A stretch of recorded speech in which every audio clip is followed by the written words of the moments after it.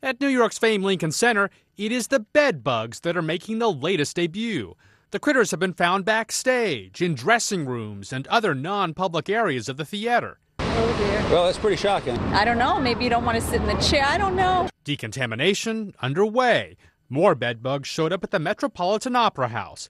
Bedbugs are a menace in New York City, popping up in other public places, movie theaters, and stores. But here, this is the home to the likes of the New York City Ballet and the New York City Opera. And what are you going to do about it? I heard those things multiply out of control, so you guys should wrap it up and get out of here as soon as you can. Center officials say patrons should not worry. The bedbugs seem to be shying away from the spotlight, not in seats, hanging out in the shadows. Lee Powell, The Associated Press.